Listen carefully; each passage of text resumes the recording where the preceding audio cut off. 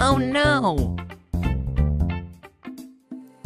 آیا چه می‌دانید در آستانه انتخابات آفرین حسن روحانی با حضور در کوه با دو تا از اون خوشگلاش عکس گرفت خودش هم گذاشت تو اینستاگرامش؟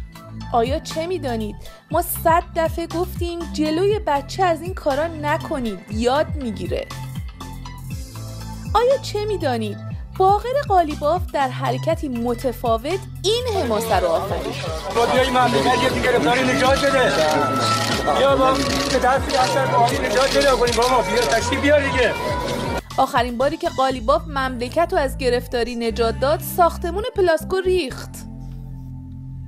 و آیا چه می‌دانید که قبلا حتی مورد داشتیم که دعا کن یه بچه هیئتی بشه رئیس جمهور. بگم چی؟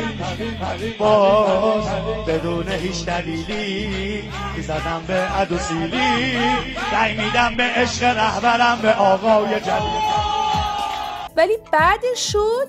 بدون هیچ دلیلی خاک تو سر جلیلی. بدون هیچ دلیلی خاک تو سر جلیلی.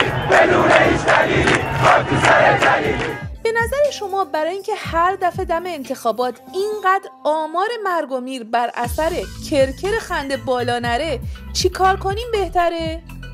الف جلوی ورود خوشگلاب به کوه بگیریم. ب جلوی ورود بد ترکیبا به کوه بگیریم. جیم کلا جلوی کوه بگیریم. دال انتخابات رو پشت کوه برگزار کنیم.